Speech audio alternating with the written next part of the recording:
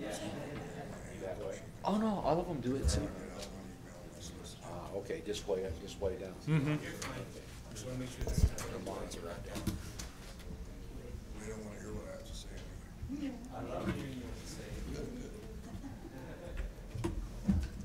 How about That's all she can tell me.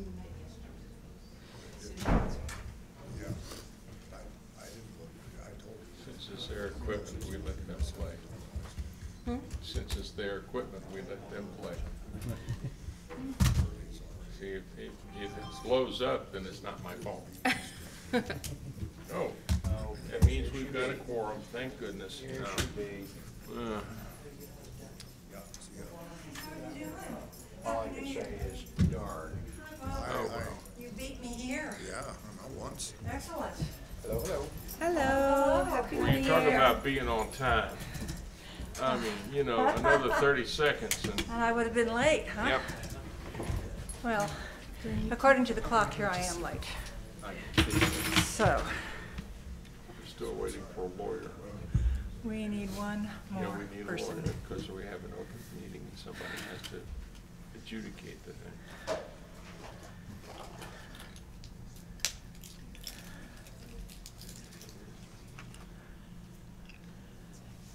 Suppose we could start without the lawyer, but, Pardon me? so I suppose we could start without the lawyer. Well, it's always nice to have legal representation here.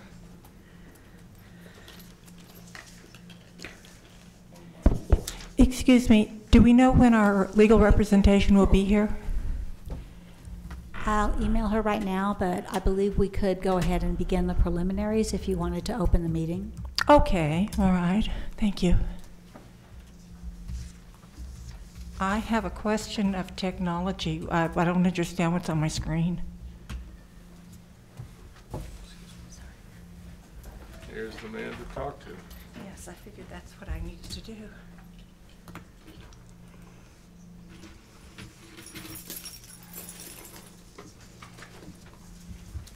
Thank you very much.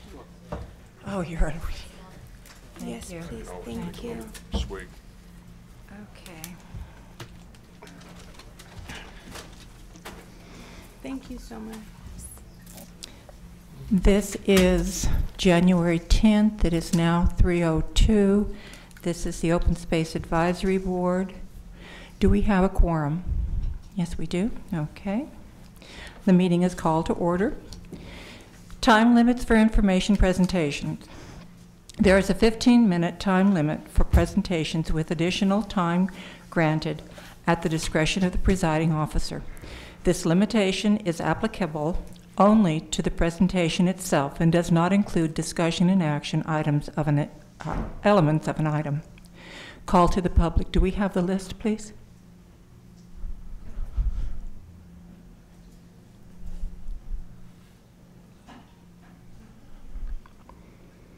At this time, members of the public will be allowed three minutes to present, with additional time granted at the discretion of the presiding officer.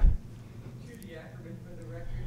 Uh, I was the only one that on the list when I signed in, so I guess it's me. Okay. Madam Chair, OSAB members, so glad that you're here and doing great work as far as open space is concerned. Uh, My ongoing concern is that our elected officials are insufficiently care about pres- preservation of open space. Whenever there is elected officials talking about our wonderful city, I don't hear them mention so- things such as the Franklin Mountain State Park or even outdoor activities. They talk about uh, more uh, big box stores and uh, chain restaurants, and those are everywhere. You can go any place and find one of those, but this is the only place where you can find the largest urban park in the nation, and it's up to you.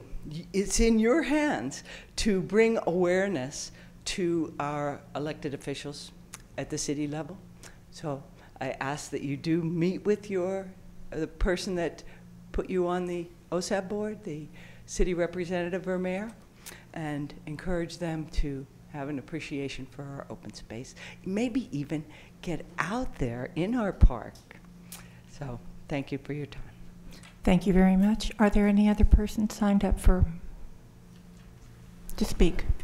Uh, no, Madam Chair, that was the only person. Thank you very much. Are there any changes to the agenda? Yes, uh, Jeff Howell for the record. Um, item eight, um, we're requesting that that item be postponed to the uh, February o- Open Space Advisory Board meeting, just to allow us to have sufficient time to uh, look into that item. Which uh, item was that? That is the item regarding the Keystone Heritage Park. Thank you. Item number eight, correct? Item eight, yes, that's correct. Okay. Are there any other additions or corrections, changes to the agenda? That's the only correction, yes, or addition. Okay, thank you. Okay, we're looking at approval of the minutes I now. move the agenda, or the uh, minutes of the last meeting be accepted as, sta- as they stand. Are there, is there? Second. Okay. It's been moved and seconded that the minutes of the prior meeting be um, accepted as they stand. All in favor? Aye. Those opposed? The meeting, uh, the minutes for the December 6th meeting are accepted as they stand. Number, item number three, information discussion quarterly report from the Planning Division, and this is by Mr. uh, Ortiz. Good afternoon. Good afternoon.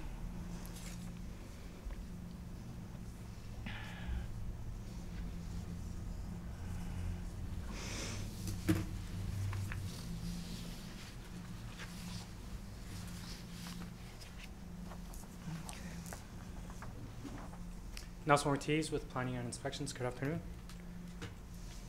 This report is going to cover all of the plats that were approved by the City Plan Commission between October 5th and December 14, 2017.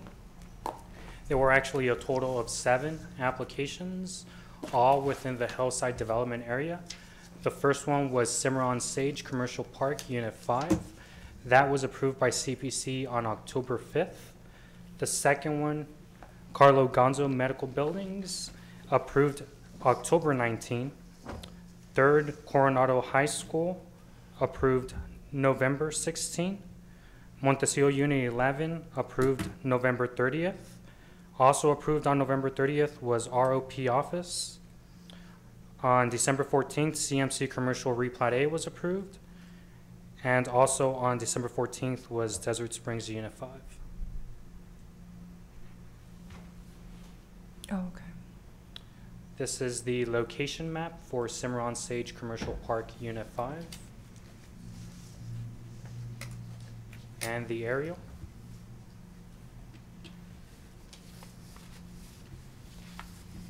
Cimarron Sage Commercial Park Unit 5 was a major combination application. The applicant proposed to subdivide approximately 22 acres into 11 commercial lots, one public retention pond, a .029 acre of open space, and four streets. Access to the subdivision uh, was proposed uh, from Northwestern Drive, Paseo del Norte Drive, and Resler Drive. The development was reviewed under the previous subdivision ordinance and reviewed for its compliance with the Rancho Las Lomas concept plan and land study.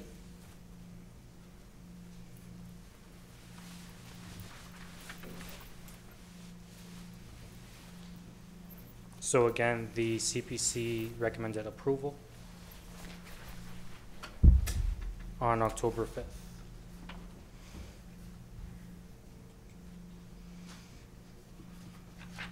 The second one is Carlo Gonzo Medical Buildings.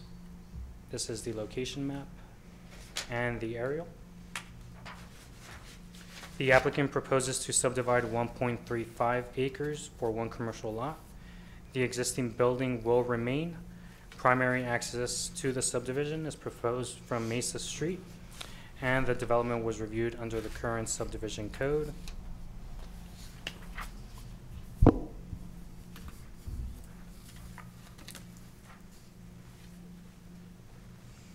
This is Coronado High School. and the location map, the aerial. The applicant was, uh, as part of the uh, bond proposal approved by voters, the El Paso Independent School District proposes to demolish several existing buildings and replace them with new buildings on the Coronado High School campus. Since EPISD proposes to construct additional buildings, the square footage of which will result in more than fifty percent of the total existing square footage, the applicant must plat the property. Specifically, the applicant proposes to combine several tracts of record into one parcel totaling approximately forty-three acres. The applicant also proposes to dedicate three feet of additional right-of-way to Champions Place in order to conform to the DSC standards, an additional right-of-way of vari- variable width along a portion of Cloudview Drive in order to include the sidewalk within the right-of-way. Access to the proposed subdivision is provided via Mesa Street and Champions Place, and the case was reviewed under the current subdivision code.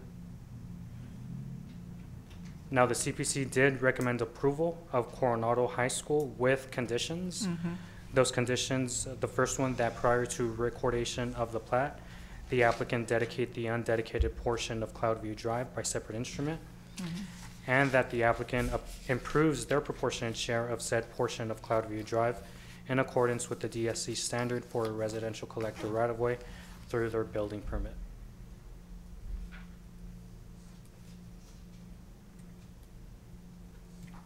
This is Montecillo Unit 11 and its location map, the aerial map. The applicant proposes to subdivide approximately 60 acres of land for a smart code development, including mixed-use lots and two private civic spaces. The applicant is proposing a private street within this development. Primary access to the subdivision is proposed from Suncrest Drive and Montecillo Boulevard. The application is being reviewed under Title 21 and is required to comply with the approved Montecillo regulating plan. Okay. This one was also approved by the CPC with three conditions.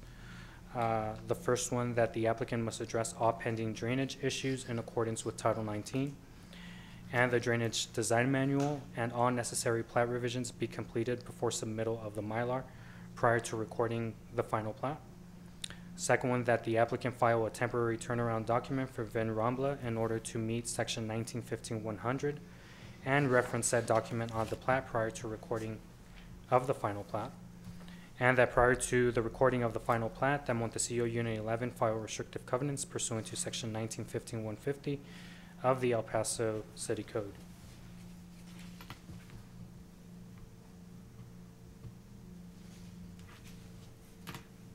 The next subdivision is ROP office, the location map, and the aerial. On this one, the applicant uh, proposes to subdivide three acres of land for a commercial site. The property is currently in tract form, and access to the subdivision is from Mes- North Mesa Street and Doubletree Drive. The CPC recommended approval with the condition that the applicant submit proof that the existing 250-foot EP easement uh, recorded in the county of El Paso be vacated prior to plat recording.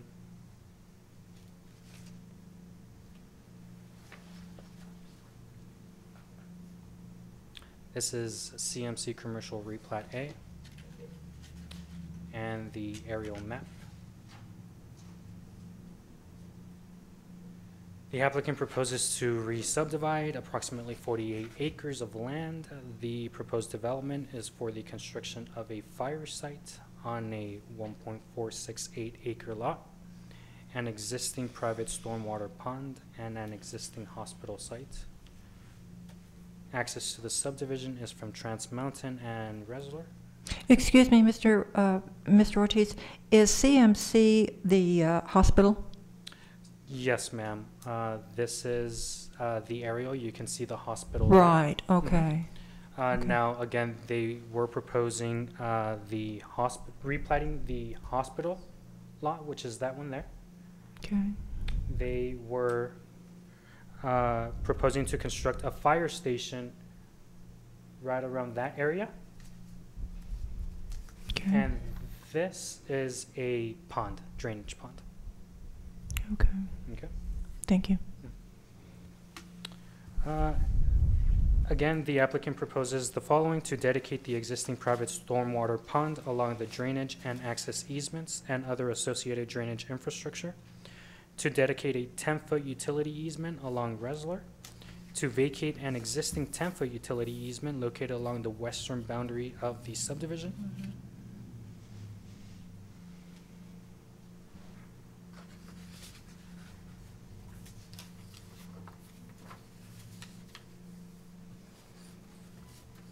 And I can go in further detail if necessary uh, after the presentation if you guys Thank have any questions about that. Thank you. The next one is Desert Springs Unit 5. This is the location map. And it's aerial.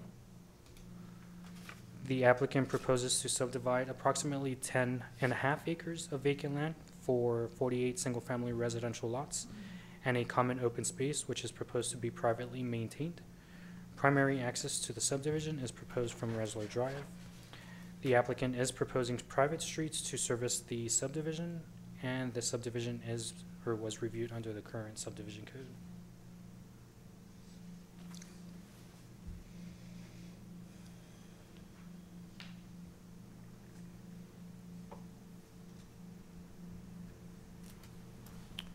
And with that, that will conclude my presentation. Those were the seven subdivisions, and I'd be happy to answer any questions you all may have regarding the, um,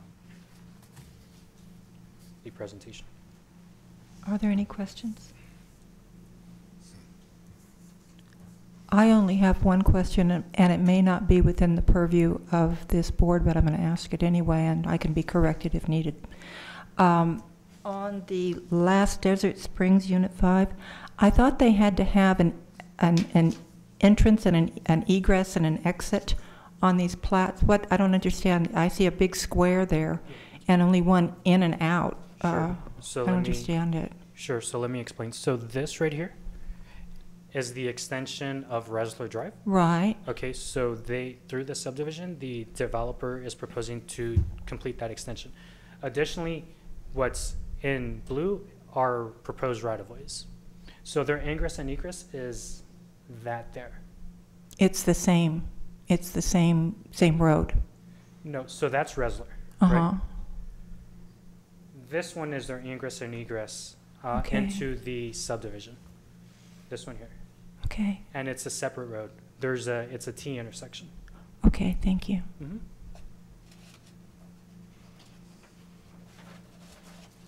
Any other questions? Thank you very much, Mr. Ortiz. Thank you.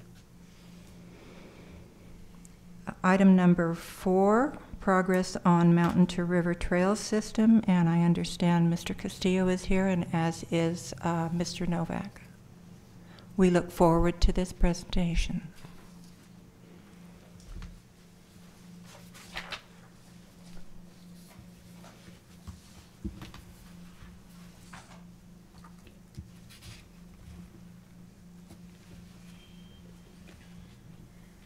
Good afternoon.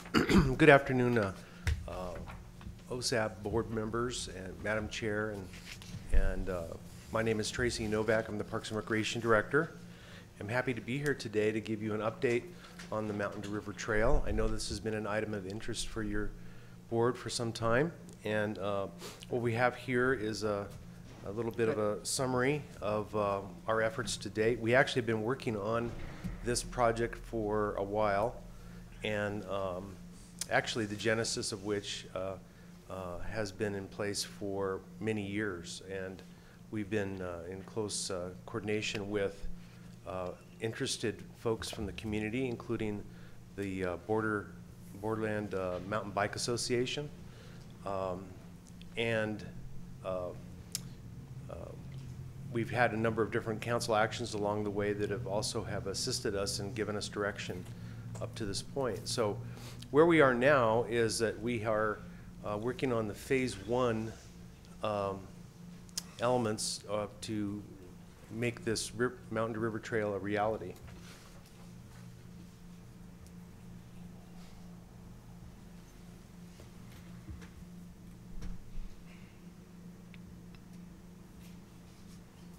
um, was there a handout provided? Okay, there it is. Now you can see up on the screen.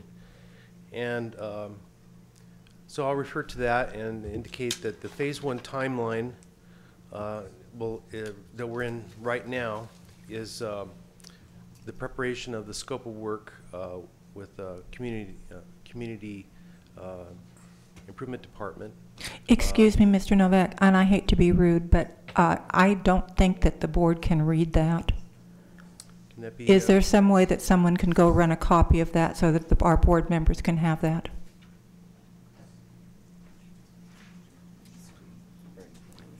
You, oh, you can read it, well, I can't read it from the distance, and I guess if you can, okay, my mistake. Thank you. I have a copy of it, I just want to be sure everybody else does. We'd like to have a copy of it here. Just- I'll share. Thank you very much, Mr. Novak, I do apologize. No problem. Okay, so uh, the, uh, we're working on the scope of work uh, for, to bring in a uh, uh, consultant to assist the city in the design and construction of the, of the trail. Uh, We're in the middle of doing that right now, and that's getting refined. We expect to go to council um, to have that brought before them um, in February. And then we'll begin the uh, advertising and response, the the qualifications-based uh, process to select someone. Um, That will conclude, we're anticipating by May of this year. And then, um, following that, we're going to be working on easements and agreements. Uh, We anticipate that that will take about nine months, uh, followed by design and construction uh, development It would begin in, in May. And there are several sub-elements uh, that, of that effort that would be included, which includes uh, uh, initial coordination with stakeholders. And I know from prior um, OSAB uh, involvement, there's a significant interest in having a community stakeholder meeting and, and engaging the community in what we're trying to achieve with the Mountain to to River Trail. Uh, Initially, we're going to have an initial coordination meeting with just uh, the major landowners that we're going to be working with, uh, some of which have uh, indicated here. Pri- There are some private owners, uh, El Paso Water Utilities, state parks, um, um, TXDOT, uh, and perhaps others. We're also going to look for an archaeological study uh, and, uh, and then refine the trail alignment. There has been a trail alignment. There's been a lot of input into it. There is opportunities to, still at this point, to align so that we can satisfy property owner interests that we have to work with.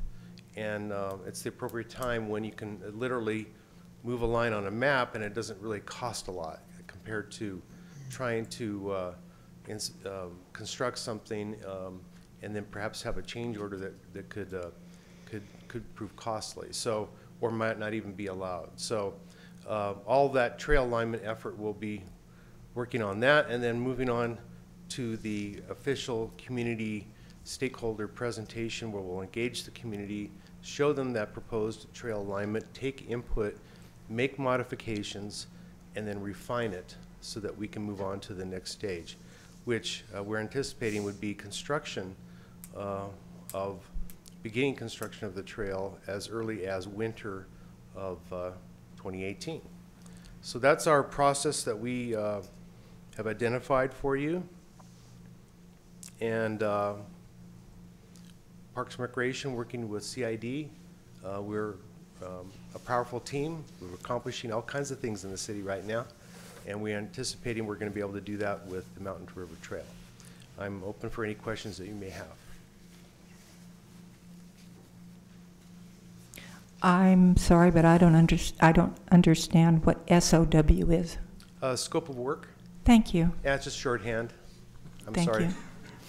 We all have our little shorthands in the different or, uh, areas of expertise, so scope of work, very good, thank Yeah, you. What that is, just to uh, kind of re- refer to that again, is that uh, when you put something out for a consultant to, uh, respond to. It's qualifications-based process.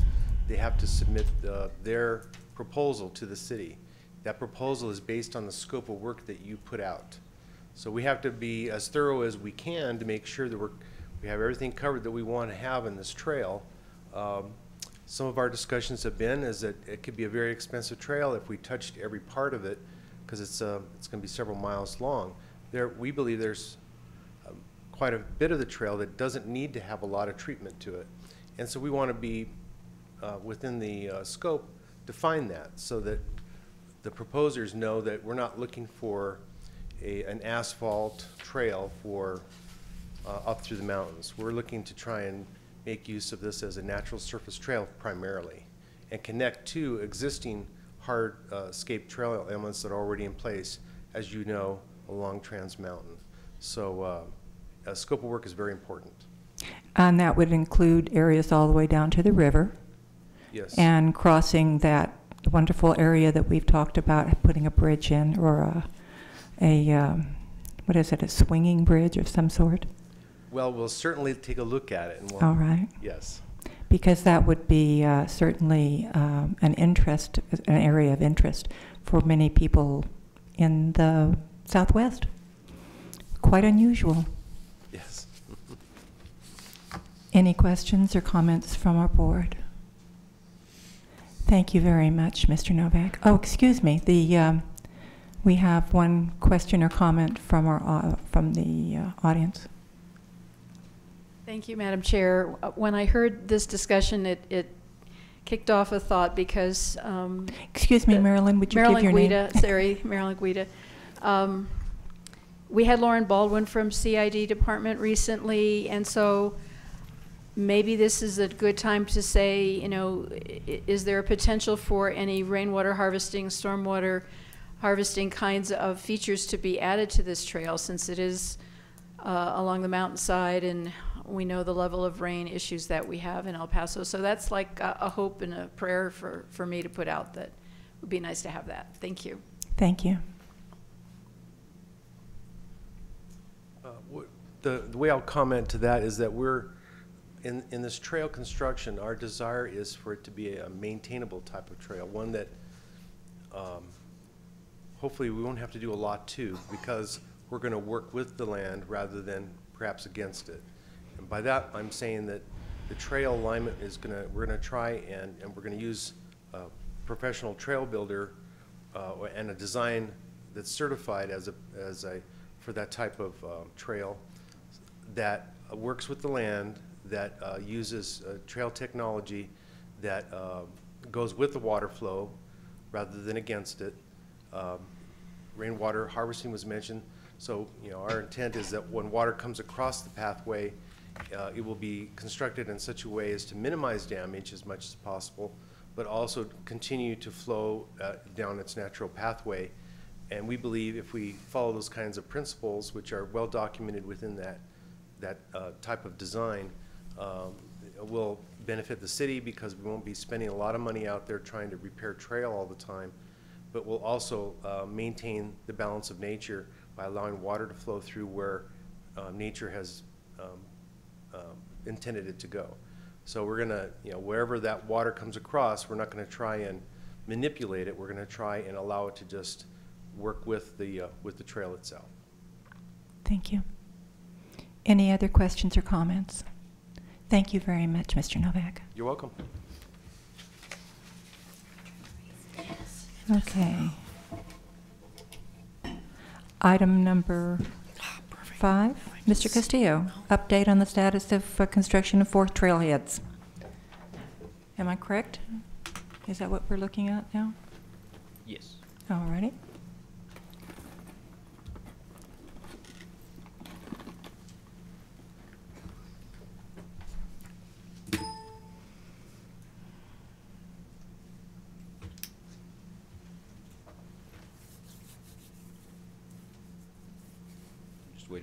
presentation to load.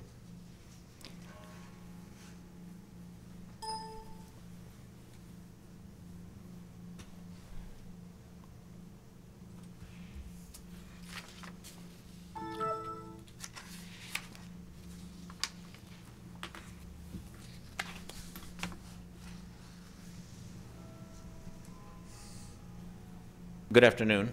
Jorge Castillo, uh, Parks and Recreation. Presentation on the, update on the uh, trailhead projects. The trailhead locations are are displayed in this map. Two are in District Four, uh, Roundhouse and Lazy Cow, which is slightly north of uh, Chuck Heinrich Park. And then we have uh, one in, on Thunderbird, kind of across from the Thunderbird Country Club, and then one at Thousand Steps, which is the end of Stint. We'll go through uh, four items. We'll cover the first two, basically the milestones that occurred in 2017. A series of community meetings were held. Uh, The design was completed for the four trailheads. Again, Lazy Cow, Roundhouse, Thousand Steps, and Thunderbird. And the basic amenities of the trailheads includes uh, a combination of gravel parking areas, uh, concrete accessible parking areas, and some very, very basic uh, amenities. Uh, These do include uh, uh, drinking drinking fountains, and bicycle racks, and bicycle repair station, and the drinking fountains also include options for, for, for pets, a pet drinking fountain as well.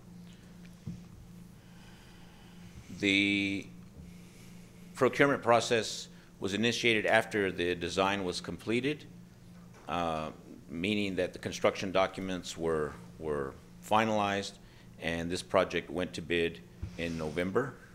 Uh, Bids were received in December. And uh, as I mentioned before at several presentations, uh, like most departments, we work in conjunction with the Capital Improvement Department, which actually handles the, the the procurement, they, they work with the procurement office, they handle the, the construction management of, of these jobs. And uh, the bids were received, and they were rejected, and, because the costs came in uh, much higher than anticipated, uh, at, at a point almost thirty percent higher. So they will repackage the bid, and they will, uh, the projects will be rebid uh, next month. Uh, We had also hoped to have, to have with us today the project manager from Capital Improvement Department, uh, Rick Venegas, who uh, notified us re- uh, uh, a couple of, uh, earlier today that he could not make today's meeting. So we would like to uh, schedule him for a more detailed meeting, uh, I mean, detailed presentation in February. So he could answer some of your questions. Uh, And basically with that, I will, we're- we, we were hopeful that the construction would have, uh, would have taken place in 2017.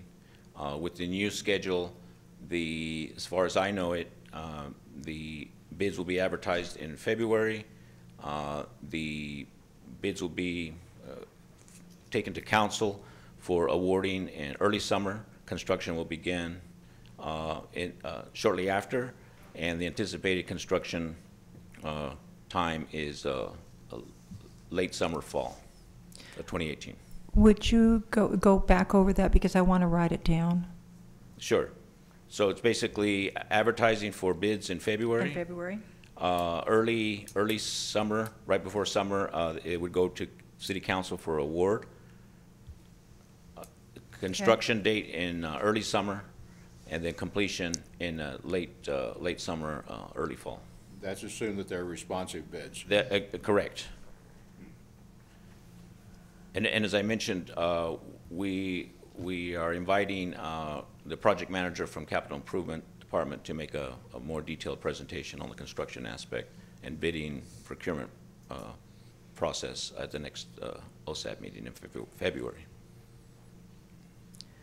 Thank you very much. I do appreciate that. Um, This has been a long time coming, as we've all discussed, and uh, I'm really pleased to see it's moving forward, and that we can hopefully have something accomplished on the ground by the end of this year.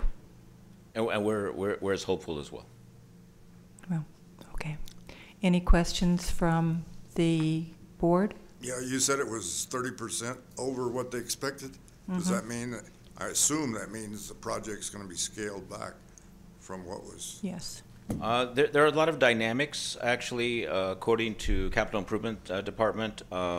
When there's a lot of uh, construction activity in the, and it's kind of a combination of items, when there's a lot of construction activity in the region, uh, bids ha- have a tendency to come in higher as well.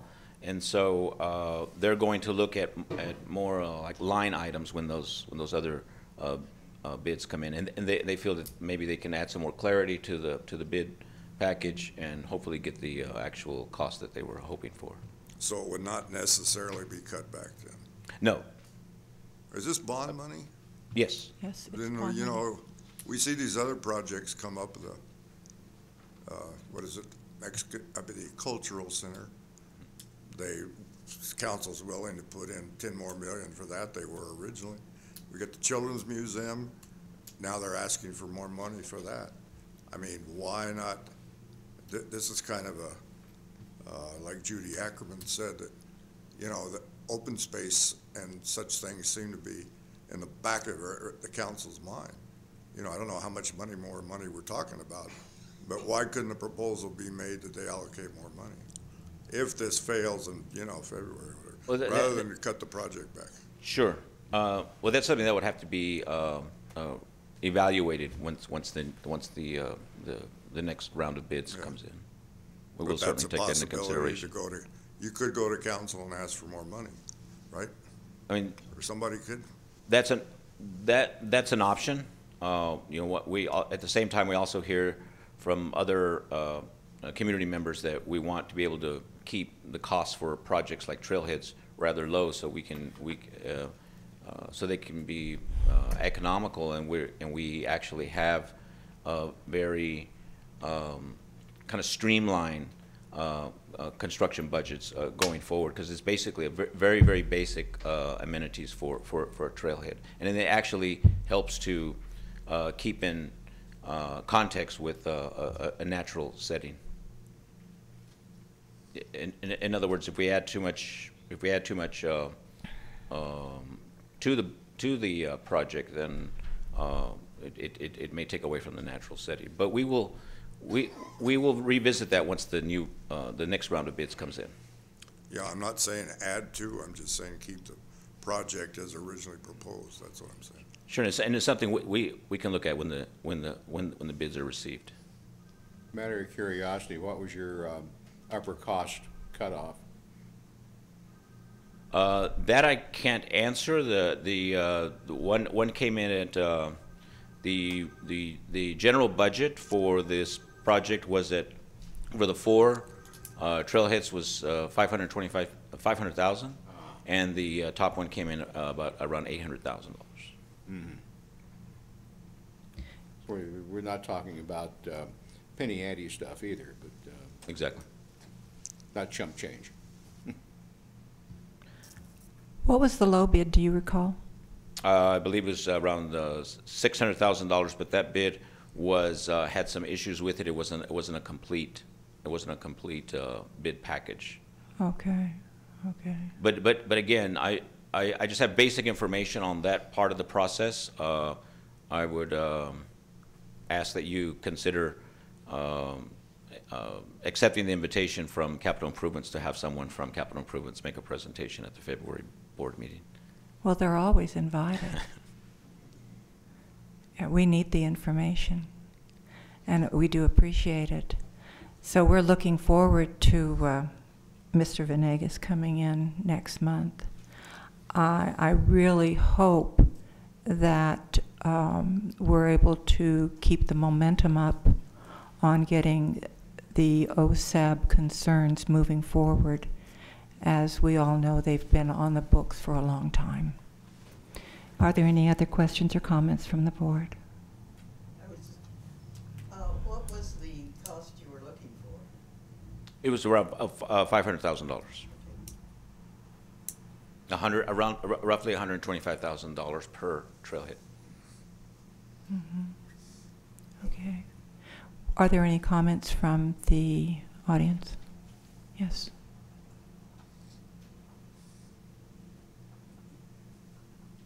Marilyn Guida, again, you know, I haven't visited any of our current trailheads, and I don't think I remember seeing any any detailed plans uh, or hearing about any um, at OSAB meetings. So I'm wondering if there's any plans for pervious uh, paving for the parking areas, um, you know, and again, features that um, would uh, help us more naturally deal with stormwater and, and uh, rainwater uh, issues. And I, and I appreciate Mr. Novak's comments very much on, on my last comment. Thank you. Thank you.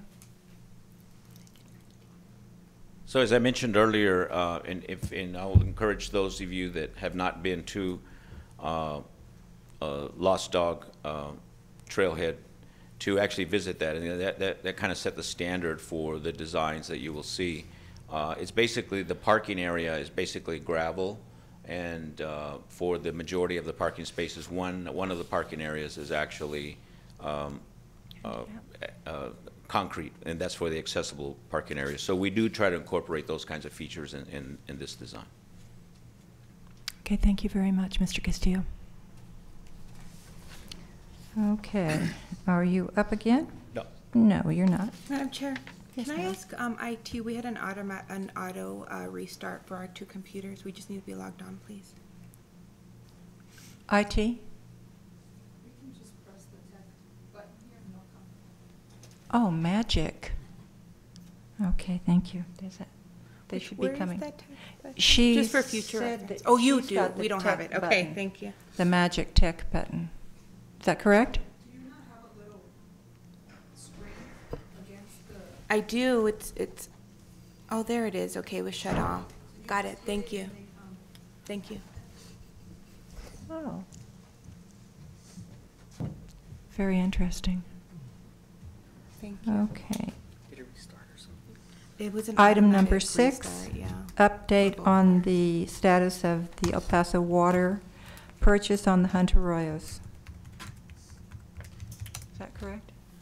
Hi, good afternoon, Patricia Dalvin, El Paso Water Utilities. At this Mhm. time, there's no update on the designs. Uh, Okay. We have not received anything to date. We hope to have them at least by the next quarterly meeting. Okay, Okay? Thank you. next. And you also have the next one, Ms. Dalvin, am I correct? All right.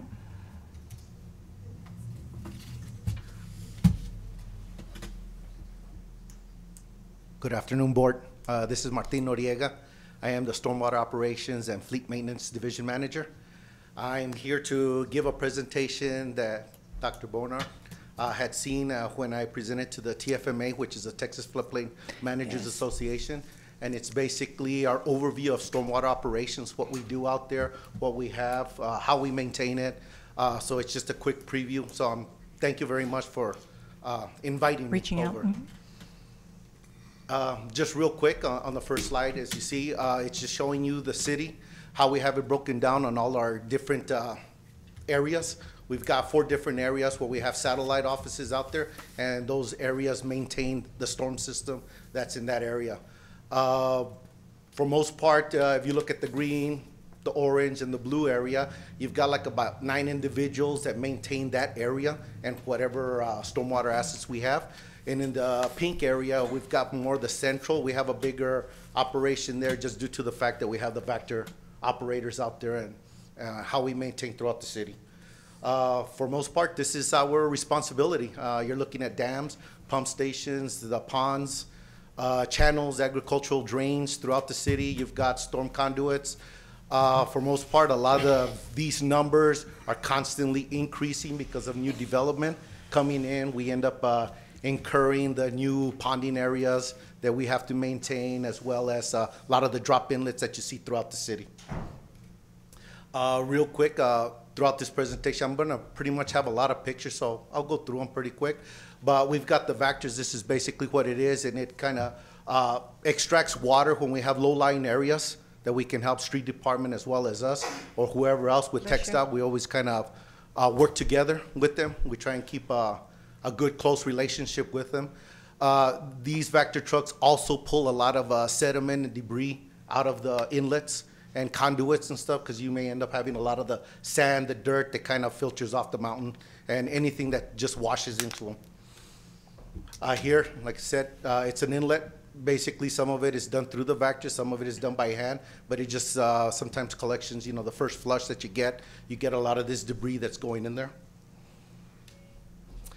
Ponding areas, uh, for most part, are big, I guess, issues or concerns. It's always weeds. We always get a lot of calls on that. It's always that type of vegetation that we need to clean up so that way it doesn't uh, start breeding mosquitoes, uh, start kind of creating a, uh, what do you call it, like a trash collector in a sense with the weeds. So we try and maintain them.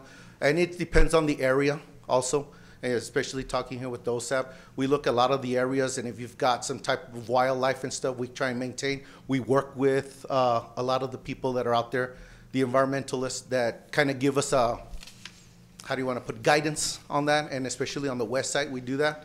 So a lot of it is, it helps us out to have this vegetation because it reduces the type of erosion that we get. So that way we're not having to go back every year fixing it, so it kind of helps us out here, uh, the dams, uh, we always have to maintain them. Uh, every year, we have the Army Corps inspections uh, to inspect a lot of these dams that we have uh, throughout the city. Uh, that way, we can still stay in good standards with them, with the program that they have, because a lot of the structures that they have, depending on what happens, what type of rainfall we get, if something gets kind of destroyed, and if we've been maintaining it, they come back and fix it. They'll help us out. They'll get a new design. They'll work with us, and it's happened at least uh, six, seven years that I've been working at Stormwater, I've seen it once that we've had something kind of really uh, topple over and we had to fix it. And it was more of a channel type. So they come in and they they uh, maintain it and it's it's coming out of their budget. So you know that's how we end up maintaining this. It helps us out a lot in the future. Channel cleaning, like I said, uh, a lot of channels, agriculturals, well, we'll clean them down because they're they're basically, uh, they hold water and stuff. You start having that, uh, that mosquito issue. That's really a lot of the calls that we get. We also have the capabilities to pump water out. We have a lot of uh, major pumps that are portable.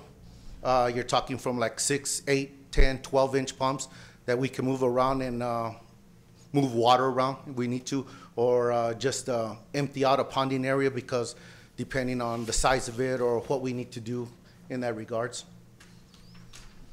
And also our services uh, range also to sandbag distribution, which is uh, a lot of the people, we have uh, five sites that are out there that people can go and collect uh, sandbags. Uh, throughout the year uh, is usually the Fred Wilson area that's open all year round. The rest of them are usually done through the monsoon season, which is give or take June, end of June, July, all the way to the end of September that we have all sites open. And these are just showing you some areas in some amount that's by Ponder Park area. You know, you get a good flush, you get a good nice little rain. A lot of it kind of plugs up and then we're getting the calls and we're out there fix, uh, cleaning them up and fixing them. You've got High Ridge. We had a lot of debris come in. We had to clean it out, maintain it. Uh, and this right here is just basically explaining work orders. Work orders for us is something that we generate. We go through like a process trying to be uh, proactive in the regards that we already know our main areas that we need to maintain clean or what we've identified. So we try and get to them before they become a service request, which is what uh, the public calls us in on and what we have to take care of, which is here the service request and what they deal with. These pie charts, it just basically states whether it was water extraction, whether it was just uh, debris, weed controls, or something to that effect, or something a little bit major. And this basically shows you the service request throughout the city, where we get the calls, what's going on, so we have a history behind it, so that way we can know where a lot of our problem areas are. So then that way we can kind of, we start trying to be proactive more than reactive. But nonetheless, with a storm, you always have to be reactive because you never know what type of storm you're going to get and what kind of uh, issues are going to come about. And talking about the mosquitoes and the water, uh, when they started having all about the Zika virus and stuff, so we ended up kind of trying to be proactive in that regards, and we started trying to do this, trying to do something with our ponding areas that held water a little longer than what they needed to.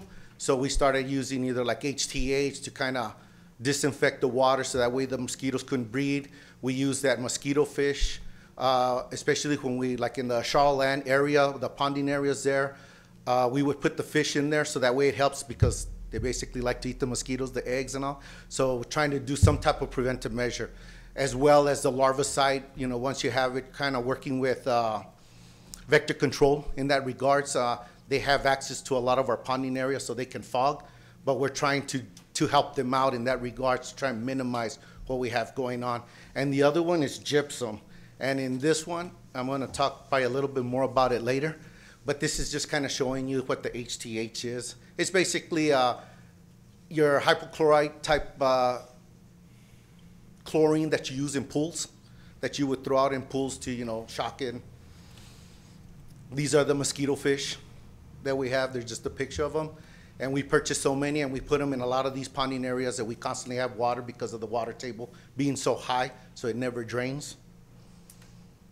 And then these are the briquettes that they use out there, and they basically throw them out there in the water, and it kind of uh, does its magic in a sense of preventing uh, mosquitoes to lay their eggs. It'll kill them.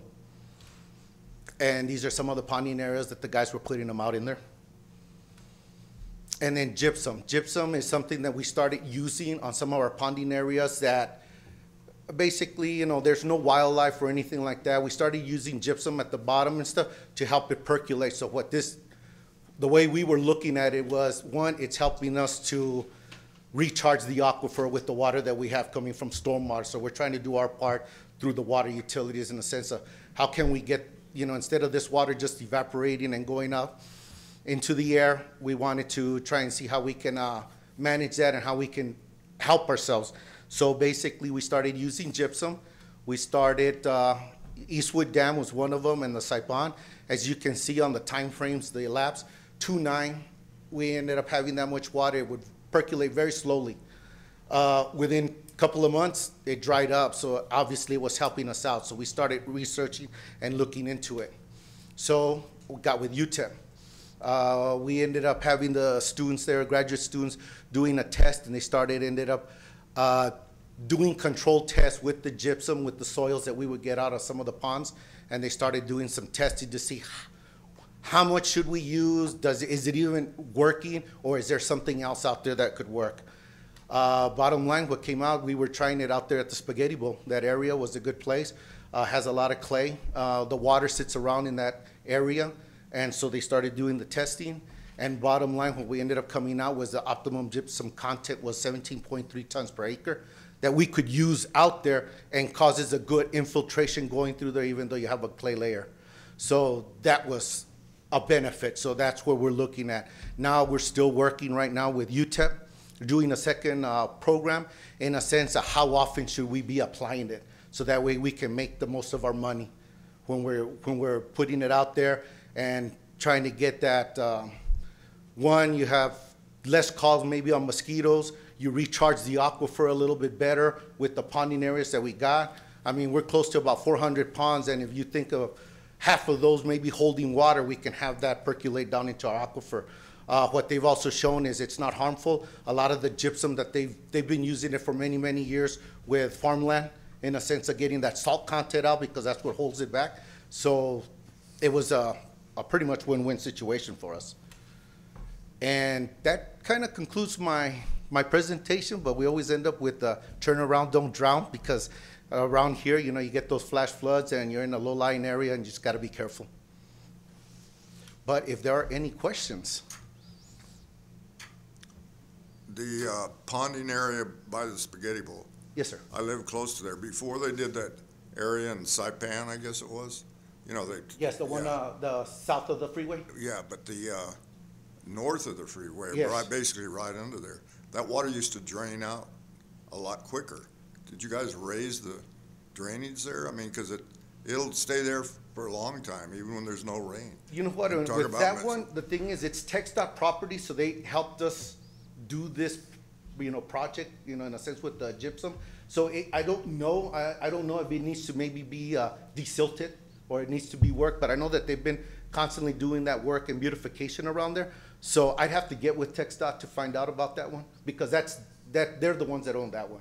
We don't maintain it, we don't do that, we do the upper portion of it, but that's about it. So I've been, uh, fortunate to get with some of the guys from TxDOT, and they've been very open and helping us out as well as us helping them. So I could definitely find out what, what the reason is or if they're gonna end up, And there's what a- their desilting process is. There's a lot of vegetation in it most of the time. Yeah. You said you take that out, I don't know when that thing's been cleaned and, Well, like I say, I have Two to get with years. TxDOT because that's theirs. Uh, I know, uh, like I said, uh, going back to the presentation is, with each area, you've got like about nine individuals, but you've got so many assets that we have to maintain. It's almost impossible to get to each one every year. So it's kind of like what helps us out is the public telling us, hey, you know what? This is dirty. This needs to be clean. We'll put it on the list. We'll kind of put it as a priority. But some of them, we already know that there's those issues and we've got their, you know, the area that it's located in. And like the one that you're mentioning, it's, it's easy for us to now start talking with other agencies to work with that. And so it, it gives us that, hey, you know what, we've got the calls from here, they're concerned about it, and we can always work with them. Uh, so that's something that we've always kind of, uh, gotten with a lot of these agencies that we're willing to help them out even though it's not our per se asset, but it means that we're helping our community. And so it's, it's just really having that coordination with them and getting with them. thank you. Any other questions from the board or comments from the board? Just a comment. Yes, please. Um, thank you, Martin. That was a great presentation. And I didn't know that y'all were utilizing, um, the UTEP students, grad students. So what a good idea and, uh, with some good outcomes. So thank you for that. thank you so Very much. informative. Appreciate it. Very informative. Uh, From the audience? Judy Ackerman for the record. Uh, Mr. Martina, uh, thank you. Uh, I appreciate knowing about the mosquito fish and the gypsum, and uh, I- I second the idea of working with uh, UTEP and utili- utilizing all your resources. Really great. Uh, I'm wondering, I have, a do have a question, and I'm wondering if you can bring up the picture of the, what did you call it, Uh, pond cleaning? You do it really quick. Yeah. One more, the pond, yeah, there, mm, perfect. They can't, oh, now they can see it. Way, way cool. Uh, Recently, i- the OSAB had a presentation from Lauren Baldwin about utilizing stormwater to grow plants. What a concept. And, uh, and how beautiful. She had some wonderful examples. And is just as far as aesthetics, I much prefer the one on the left where you see some native uh, um, sunflowers and other nice things blooming. So uh, personally, the one on the right looks ugly. So uh, I'm wondering if uh, you can't also utilize stormwater in the manner that Lauren Baldwin was talking about, uh, right in that particular, right there on that pond, as opposed to making it uh, barren. No? Can you do that? You know, to answer that question is yes. I mean, for us, the hard part is we're stuck in the middle. you got some people that want it to look like the right hand side. You got the other people that want it to look like the left hand side. So it's a compromise between both. So it's kind of, you know, I guess answering the question is it's really trying to see what would be best because I would rather have them on the slopes so that way it minimizes our erosion and it's less work because at the bottom it's not a problem because we're going to have to desilt it anyway you know, in, in that regard. So that's going to end up getting uh, hauled out or cleaned up and stuff. But that is something that we've been looking at. We've we've actually looked at the possibility of like lantanas and stuff Mhm. and having them grow around Mhm. and stuff. But the thing is, it's just doing it, getting it, you know, setting up so many of them and then watering them and having them take because we like that root system Mhm. and it, it'll it, it reduces the maintenance that we have to do. Mhm. You know, if we look at some of the areas and stuff, because sometimes a lot of the the issues that we have, it's they're concentrated in one particular area. It's not the whole pond. You know, it's just certain areas, and if we can do something that's greener. Uh, you know, and I didn't even mention uh, a lot of the stuff that we do is we try and recycle. So we ended up getting a couple of wood chippers. So when we're taking stuff out, we'll chip it and we'll utilize it if we can. But if not, it's less that we have to take out to the landfill. So we try and reduce our costs a lot. Um, yeah, I mean, you name it, we're always looking at a lot of things, even with projects that I know they're talking about, um, you know, our stormwater projects. We'll look and see what they're uh, hauling out. And the thing is, we like to use that material for that instead of having it taken out to a landfill where it's just you know, you're just filling that up with just dirt and rock, and we prefer it. So we try and utilize it anywhere we can. So we're always looking at a lot of ideas. So by all means, share them with us. Madam Chairman, Yes, please. couldn't that be mowed? Does it have to be scraped? Well, we do mow it. That is with a weed eater and a mower that we do that with. Well, yes, So- but the picture on the right here has, it's been scraped. There's nothing left. That's Yes. fair. If it had and- been mowed, you know, they do this in Arizona and, and eventually you get grass. Yeah. You know, the, the weeds disappear, the tumbleweeds disappear and you get grass. Yeah. And, and the thing is, we're gonna have to figure something out, but I know that particular area and where it's at, and the gentleman that likes it like that, that's, that, those are the hard parts that we have to deal with, because he Well, lives there, but that's what he's, because we'll he's- mow it and leave it. Maybe he's never seen it mowed and seen it, I'm sure he would prefer grass if he could see that. Oh, if we But- could. But, you know, he's probably never seen it mowed. No, he's, he's a, a big advocate for a lot of things, and he'll let us know, so. Mr. Noriega, um, there seem to be a lot of good ideas that come up, just several today. How do those ideas get to your department, to you? You know, Um, through customer service, calling us, um, What's you know. a good telephone number? You know, usually it's our 5500 number that you call customer service. That way they, they send it over to, uh, you know, customer service is good about, if you mention stormwater, they'll send us the email or the, or whoever it was that called and we try and call back. I mean, we're, we try and be good about it and stuff and we look at the ideas. Then after that, it's just really a lot of the forums like this, you know, bringing up the ideas, then just just looking into it, doing research really is finding out because sometimes we're not the experts, but whoever's bringing that idea might be. And we have to pick their brains to see what's, what's good. Because we've had some people come about rain gardens, you know, and some of the Sure. easements and stuff like that. And we have no problems. It's just that we don't have maybe the capabilities to do that, but it would have to be that, that local community to do it if they wanted to. But the thing is, we can always go over to like land management, see what we can and Sure. can't do and stuff, and that's really it. Is there an email address that, um, that would be preferable? Trying to think, because I thought there was like a stormwater operations email, but let me, I'll get with Patricia and we'll look and see what the, what an email that we have that would go towards our guys, because I think, uh, there's I one think that that goes to like it code easier. compliance and one to us. Right. Sometimes telephone calls get hung up on or uh, put on hold for extraordinary Well, amounts of and, and they get rerouted to the wrong person because it just depends on the dialogue that you use and what code words that you say, and it might get sent to somebody else depending on what they're trying to talk about. Okay. But, but by all means, uh, if anything, uh, I'll bring some cards. It's just that we had some training and I ended up getting rid of all my cards, but I will bring some to you all. I'll give them to Patricia to, when they come to the next meeting. And then that way you Okay. kind of have at least a point of contact. So we can do a follow-up with uh, how to connect with your department. Definitely. Thank you very much. No, you're welcome. Thank you so much. Okay, moving on to number nine. Mr. Howell? Nine? You rearranged it. Okay, number eight was deleted. Number eight was uh, moved, postponed until February. Okay, I'm assuming that happened because I was late, and I Yeah, apologize for you that. didn't catch the message. You didn't get the memo, sorry. Yeah, why is it postponed?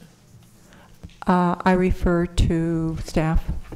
I I can answer that. The reason why is, is because it did come in late and we just needed additional time to figure out the appropriate person who can provide that information. Uh, I, that was one of the first ones I sent you.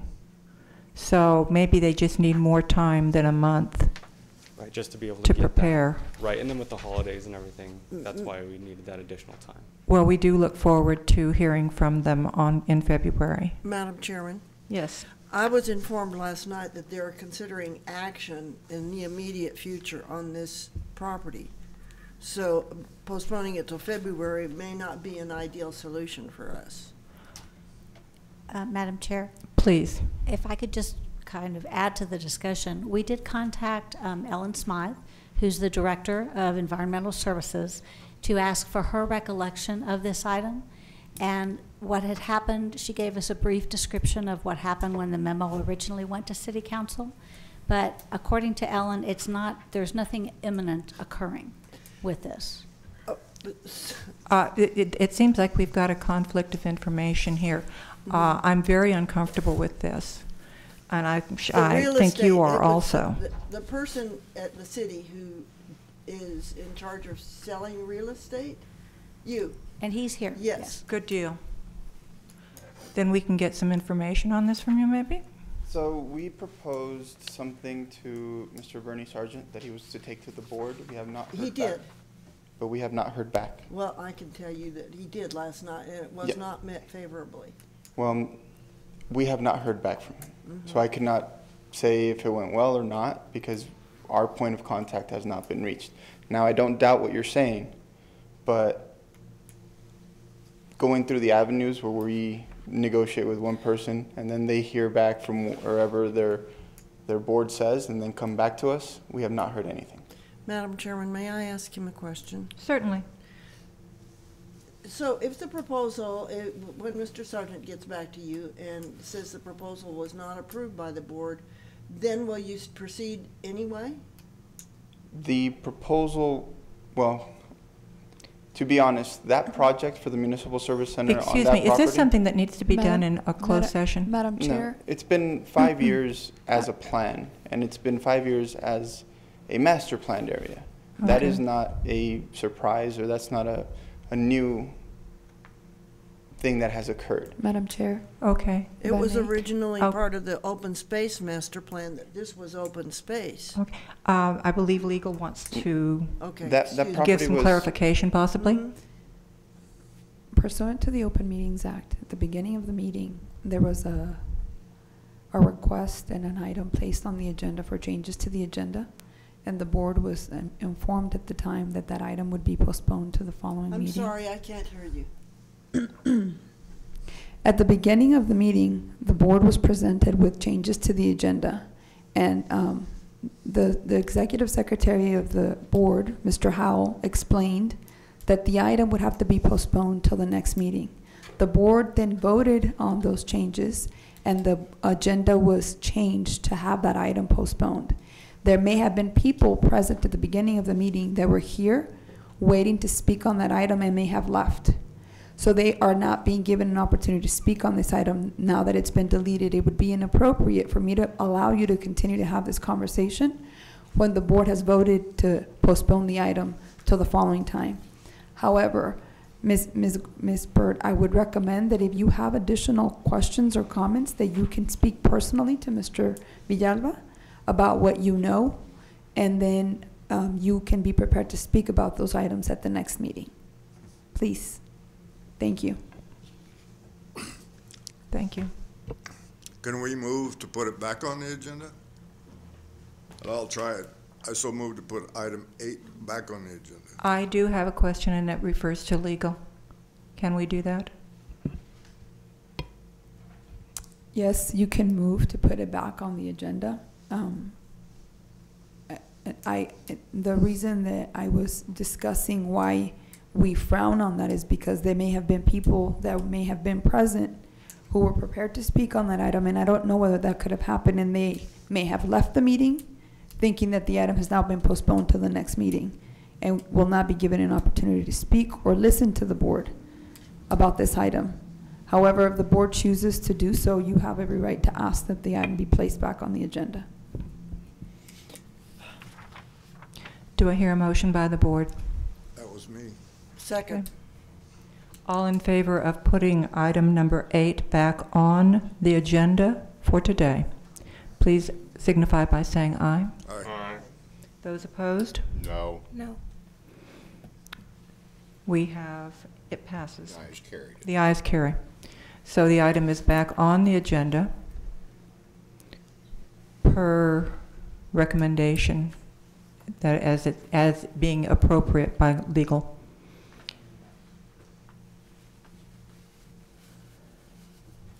Okay, it's back on the agenda. So we're looking at item number eight.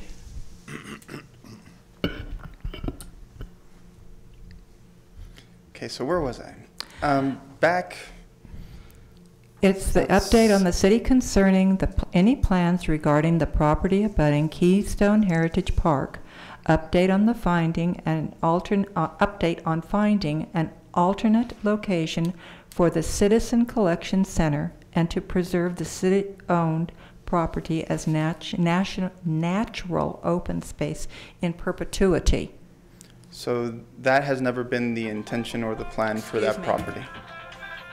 Those 27 acres that are next door to Keystone Heritage Park have always been and have continued to be planned as a municipal service center. That's, It's been master planned. When it was acquired, that was the purpose for it. It was acquired using uh, enterprise fund money through environmental services. Enterprise fund money is very, um, how can I say, protected, and any money that is used for a specific purpose, if it does not get used for that specific purpose, must be paid back to the enterprise fund. Our what we met with Mr. Sargent was to find a way to kind of extend an olive branch on how we could move forward and what our plans have been, because we do understand that there has been some concern and some opposition in, in the placing of that municipal service center there.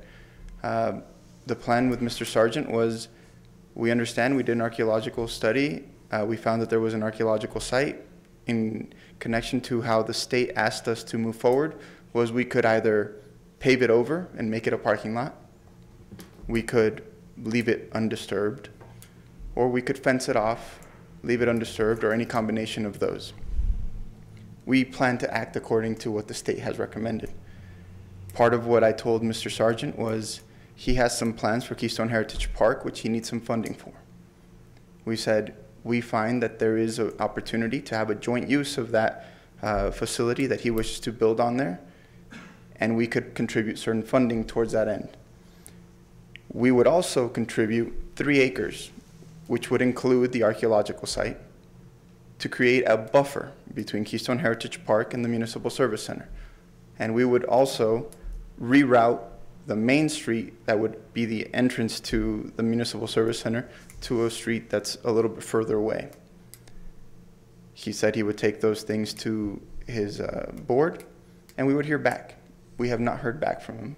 I understand that you may have had access to that meeting or not, but I haven't heard back from him. That was the proposal we gave, and that's the intention is to continue with it being a municipal service center. Now, we understand that there's opposition. We're trying to create olive branches to move forward. I don't see that there's any issue in regards to any of what we've done. And I think we're acting in a very amicable way. um, Madam Chairman. Surely. This property, prior to the city acquiring it, which they were anxious to have a trade for property downtown, which is the person who owned this property owned property downtown where the art space is. So that is why the city acquired this, because the person who owned the art space property wanted to donate that to the Community Foundation for the Art Space. So as part of, part of that trade, the city purchased this property. Prior to the city purchasing this property, it was part of the open space, the original open space master plan. It was designated as open space. Now, I have a small map here. I don't know if, if it could be projected or not. It was one that was given to Mr. Sargent last night. One of the questions I would kind of look at, uh, and I could be terribly wrong, is since Texas is a uh, property rights state, who does the property currently belong to? The The city. city of El Paso. So the city of El Paso has the say-so on how the land is to be used. Correct. And we have not proceeded because we wish to have, obviously, a considerate way of acting. We, we understand and we hear people's concerns such as your own. But at the same time, the purpose of a municipal service center is to provide services for all citizens that live on the far west side of El Paso. And those If we don't use this site, we will have to acquire a different site, which will add another burden on the taxpayers for having to pay for said additional site. I would prefer not to spend millions of dollars trying to find a new location and use what we have and its designated purpose. Madam Now, Chairman. we would, like I said, we've been trying to give olive branches. I think it's a good olive branch. And that's my update. Please, go ahead. Could we show this map? Uh, This do we have legal, the can I? technology to do that? Yeah. Right, it just be, be. Please. This was Could we just that- We don't have bring up the Elmo, please? Bring up, bring up the It's- Elmo. it's- The Elmo's not out. Oh, sorry, the Elmo's not. Is there, there, there you go. Here we go. Thank you. If I'm IT sorry could it's all bring that up, wrinkled. please. It's been in my purse. Might need to warm up a little. Uh, excuse me, I think I did. what, what is the timetable that the city is using to make the decisions on this? um, Well, it's been master Collection plan- center. It's been master planned for over five years. Obviously, um, it's not just going to be a collection center, though. There's other uh, municipal service. Um, No. I guess No. things that will be there. There's been talk of a police It's station. There's been talk of a Mm-hmm. fire station. Um, in the master plan, it shows adequate space for all those. So it's not just a collection station. It's a municipal service center. Um, if you see, well, May this I- doesn't may this I doesn't talk show. about this, please? I would like to talk about this map. Well, this map doesn't show the full 27 acres. I This- understand. This map shows Keystone Heritage Park. Right, I Okay. understand. But maybe d- you brought a different one? No, I do not. Well, then this is the one we have to work with.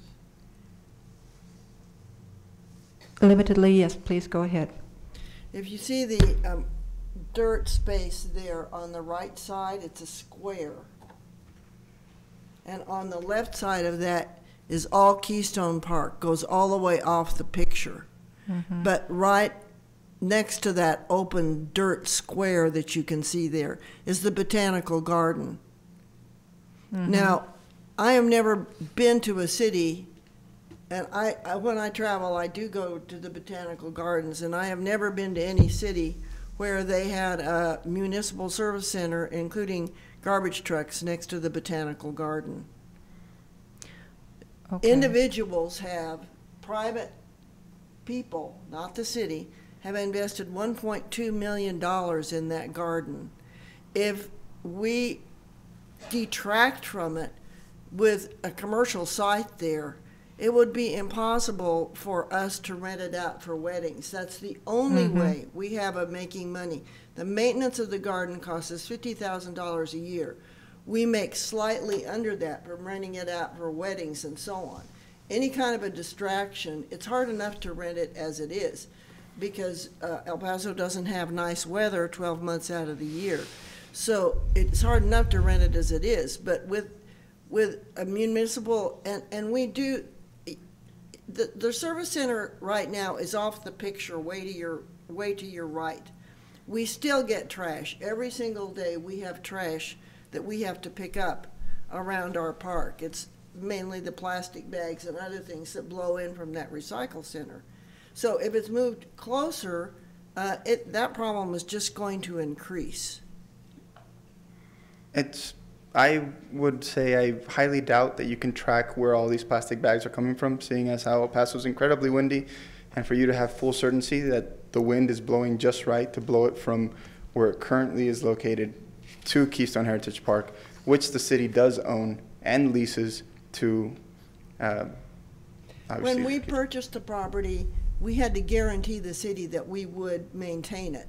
If the Mhm. city would like it And- back, they can have it back, but we, we had to guarantee that we would maintain it because the city had no money to develop it. Well, If the city does would like own to- it. To pay that fifty thousand dollars a year for the botanical garden and additional monies for the wetland, well, we, we would appreciate that. So the city does own it.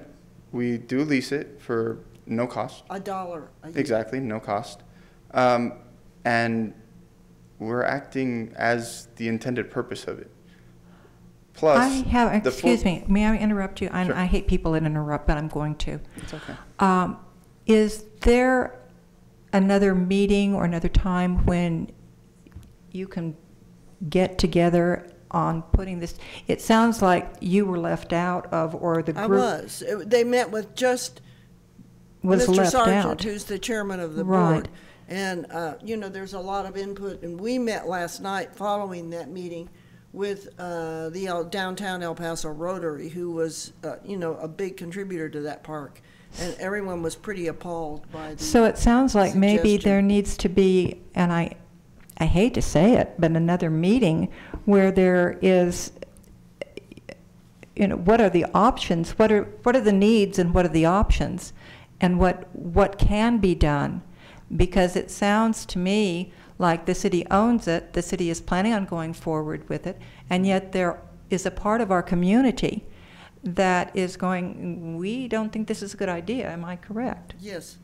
So is there some way that th- this can turn into, and I hate to say charrette because I don't like charrettes, but a way that the community and the decision makers can all be decision makers? So when I spoke to Mr. Sargent, I offered to go and present a full presentation to his Sure. board. He said that we didn't need to do that, but we may need to do that later on. So that offer still stands. I would be glad to go present to the board our Would- reasurning, our options, and why we wish to you? do so. Um, Now, that, again, I will say this, that is as a courtesy. Surely. We own that property. We have master planned it for a specific Right. use. I And- understand that, and but in I also so, say- We're wanting to be nice about it. Yes, you are, you are a staff member Mhm. employed by the city of El Paso That is correct. through our, our taxes. Am I correct? That is correct. So you are of the city manager. virtually, and staff, who are wonderful and really get things moving.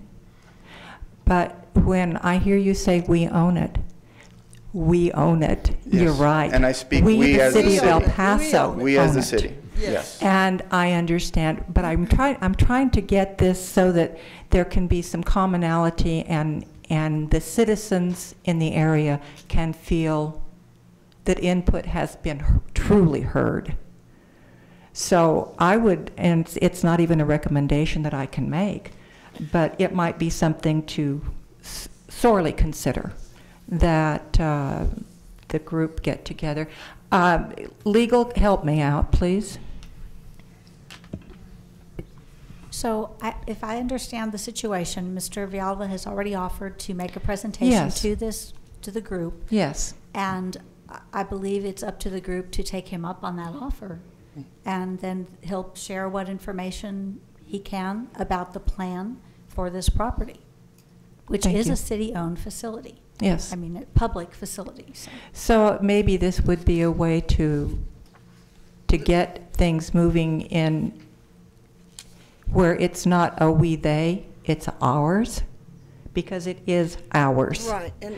And so maybe, can you work with Mr. Galvan? Can your people and her people get together on this in some way? I mean, I hate to put it that way, I but think it that's. needs to be We're more waiting than for our Mr. board. Sargent My- to reply to our My concern, Madam Chairman, initial- excuse me, my ex- concern, Madam Chairman, is that this is an open space concern, because we have long talked in this committee about uh, buffer spaces Right. around our open space. And this land is owned by the city. Correct. So we have to consider working together to get a win-win as much as possible instead of a I gotcha.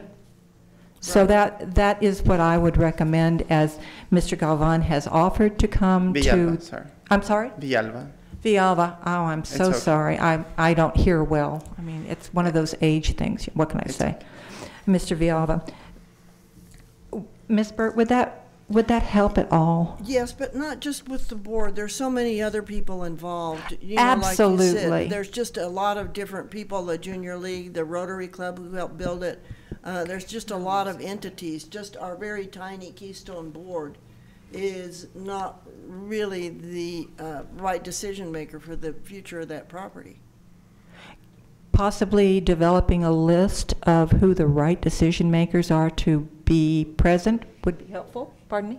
Who are the stakeholders? Who are the stakeholders? You know, the stakeholders need to, to be able to give input and hear and work on this together. So that would be a possible way of doing this.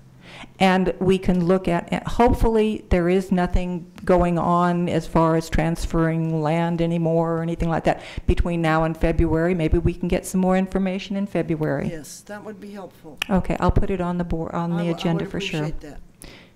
Okay, maybe we can, you've, you've already offered. You think you can find a place in your schedule, maybe? We're waiting to hear back from Mr. Sargent. Great. Okay, that sounds very positive. Thank you. This is something that the uh, OSAB discussed several years ago, every meeting. Yes. a Long period of time. Yes. Yes. And they've sent it uh, for, for many years, as you said, uh, and it's been recommended to city council and so on, that that property, that little square that was up there, that should be a buffer. And in the plans that the city presented to our board several years back, they felt like twenty feet was a buffer, but anybody who can pace off twenty feet knows that's not really a buffer. It would destroy the birds that are uh, shorebirds that breed and lay their eggs on the ground. So, excuse me, I don't, from what you're saying, I don't think Mr. Sargent fully conveyed what our offer was. Because if you're talking about just that little dirt piece of property right there, Well, I that, see that is in our I plans for no different idea use. what you're pointing to. Well, your map. Yeah, but I, but The pat, the property right across, there's a road and then Well, there's a I- dirt. Where- Yes, so on the bottom right corner, that dirt lot, that square. yes. Yes, That is not part of our plans I understand. for using. I So, understand. so if you're, But you're not only planning that, on- but then there was a three acre buffer, but you which were is much planning different on than twenty selling feet that piece. For, Okay, I'm sorry to interrupt you, So but I- I, I would I just I like to think you're getting from into the weeds Sargent. on this, and, and we Yeah. really need a little bit more for you all, more time for you all to, your groups to get together and you to make your presentation and them Right. to, to look at your options. And I'd like to put this on the agenda for, um, next month. Thank you. So that we can have something, um, to look forward to. Thank you very much. Okay, shall we go on to number nine now, then?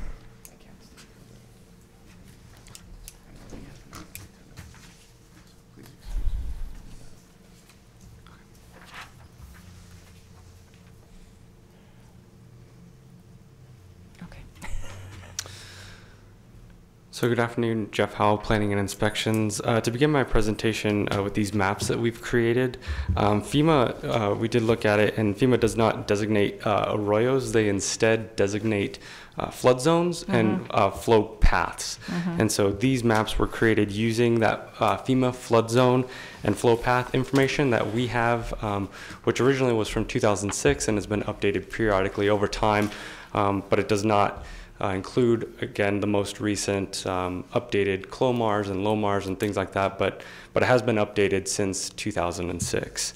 And so the dark blue uh, areas on this map show where the flow paths and the flood zones intersect, uh, while the lighter teal color just shows the flood zones. And since an arroyo is really uh, more of the gully or the depression of where that water flows, that's why we chose to show them intersecting. Um, because FEMA, the way they designate flow paths and they depict it on a map is just with a line. And since, since an arroyo is really just an area, um, that's why we chose to show them uh, where those two um, uh, data information sets intersect. And so um, we created a series of maps showing this, and we've broken uh, the city down into three different areas, and we showed the district information as well. And so one map, of this map in particular, shows the uh, ownership of the land in which those arroyos and flood zones cross. It shows the uh, the private land ownership, city, PSB, and then the uh, Franklin Mountain State Park. And then the other maps that we have show the zoning information, which shows uh, the typical development that uh, could potentially go there, with that being residential, commercial, um, manufacturing.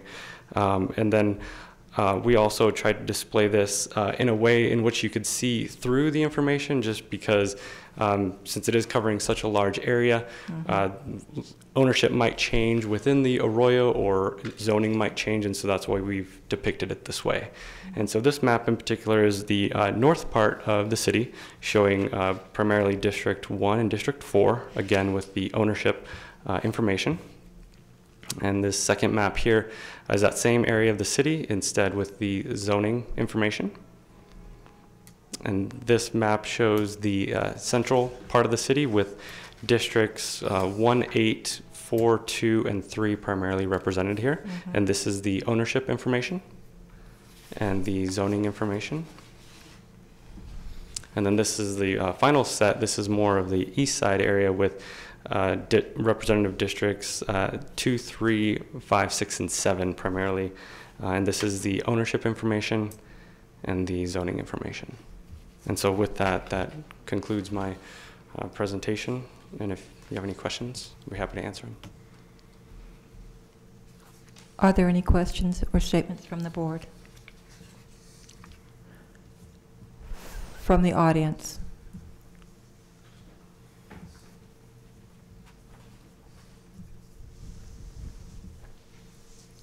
Marilyn Guida, I, would be wonderful for the public to have access to that map somehow and to study it because it's great to have the information, you know, that was presented, but I can't, hard to make heads or tails out of it, you know, this quick. Um, I did notice a spot, um, at the, at the, the west end of Hondo Pass, where Hondo Pass dead ends, and private property begins, but there's a water utilities um, drainage. That's, that's then mountainside, that's, uh, it's not, it's privately owned land, not, uh, not state park. But there's, there's drainage there, channels that take that water uh, and dump it onto Castner Range. Okay. And that, so that's probably, I don't know if it's technically an arroyo, uh, because probably before Hondo Pass was put in, that flowed down toward Hondo Pass area. But at any rate, that, that carries stormwater. It's not on the map. So there's, there's details like that. I'm, I'm not sure why OSAB requested this information, but anyway, that's, that's it for me. Thank you. Marilyn Guida. Thank you. Anyone else? Mr. Howell? Well, and I can clarify, uh, Jeff Howell again for the record, and, and this information is uh, what we had from uh, FEMA, again, from ori- originating from the 2006 information and going, so that's, that might be possibly why it's not, it's not shown on the map. OSAB is responsible for giving informa, in advisory on arroyos, greenways, and other open spaces. And that was one of the reasons why this, this map was requested, because, um, a lot of us don't know where all of these arroyos are. And it, sometimes it helps to have the map. Maybe, is this something that could be put on the uh, city's website? Um, that's something we can look into to see. Okay, just so that uh, if you're in District Six, you know what's available out there, what, what arroyos are there. And since this information is uh, from the flood zone information, I believe that map information is on the city website already. Sure. And so uh, that's how some people could access this information because this information, again, since it is derived from that, Mhm. it's it should be there. It's the first time I've seen it, and I'm really impressed. Thank you. Okay, number six. Ah, number 10. This is information discussion. It's a recommendation to City Council to consider the green infrastructure report presented to the Open Space Advisory Board on December 6th. And I have uh, drafted a memorandum, and I believe it was in the Dropbox. Send us a supplemental. It was sent as a supplemental? Yes, here it is. Okay, thank you very much. Um, Do I, uh, legal, do I need to read this entire thing orally? Thank you. No, you, the, the, the memorandum, I believe, was provided as backup as part of the agenda. Right. So the members, of the, the public would have had notice of what you were proposing to read. Right. Um, you can read the subject line so that it's a, it's a good preface to your, your your conversation or the discussion that you'll have. Okay, thank you. Uh, The subject is recommendation to City Council to direct the city manager to direct staff to provide the green infrastructure report, again, uh, presented to the Open Space Advisory Board on December 6, 2017. Uh, To, ci- this is to be provided to both City Council and the El Paso Water Utilities Public Service Board.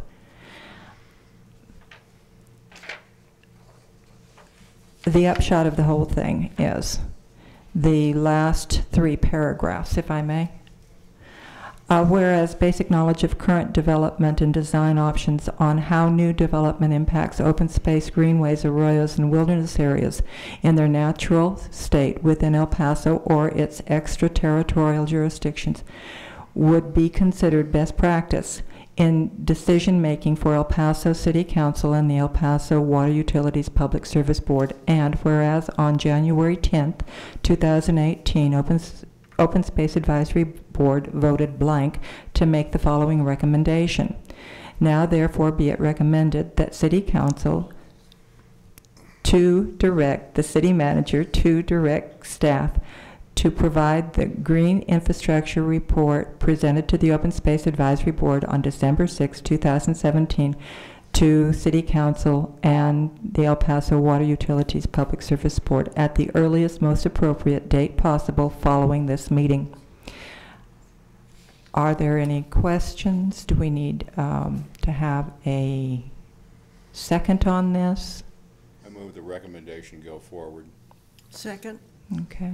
There's a, been a, uh, a motion and a second that this recommendation go forward. All in favor? Aye. Those opposed? Okay. As it stands, this recommendation will go forward then. It will be provided to uh, the city manager, and also I, can we be sure that our city reps and the um, representatives and the mayor get a copy of this? How do we, how do we get this out to them and also to um, the water utilities? Um, Through, th- uh, you can deliver, it- the chair can deliver it personally to the um, city manager and the city council reps. Okay. Through their staff. Okay, Or and- if you want to provide it to us, um, we can deliver it for you. That would be lovely. And to the water utilities, how can we get that to them? So that they're made aware that this might, would be coming their way. We can provide a copy to them as well. Thank you. Okay, thank you very much. So unanimously, thank you. Are there any other bits of information that we need to address at this time? We do have an item for executive session. Okay, we do have an item for executive session, you're right. Shall we, that being the case, then we will Adjourn to adjourn executive to session. meet in an executive session. Do we go back in the little room? Yes, ma'am. Okay.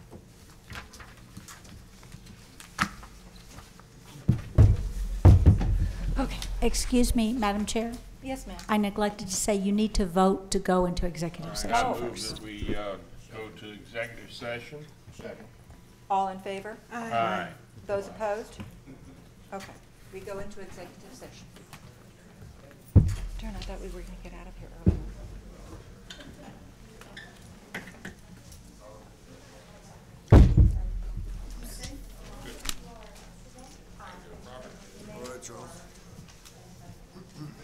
Sharon, I'm so sorry I was late. You know. Blame it on TxDOT. Well, I know. Listen, you know, we need to total. So be it. So be it, but I called him on it. Um, there's your piece. Thank you so much. And we need to get an executive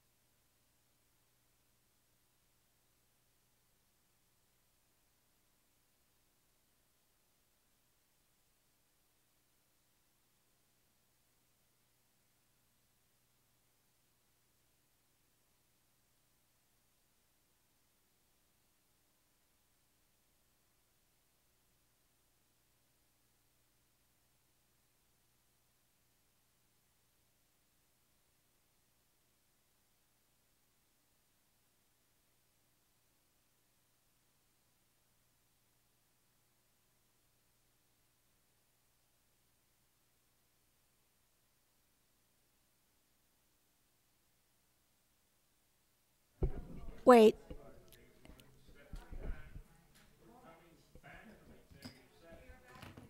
Yeah, Session. I did, I gave you two. Okay, all in favor? All in favor of? Aye. And in fact, I gave Okay, you now. two, somebody All, else's from the now, table as well. we move that we adjourn this meeting. But you could check with that if you want to. All in Yes. favor You can of check with adjourning the, this meeting? Aye. Oh, I didn't give anybody a chance to, to have a discussion. I know. Forget it. Forget it. Well, you know, I think we ought to stay here. The and- meeting is adjourned. Can we And talk please about it? commode the Yeah, next I'd like to committee. talk about it.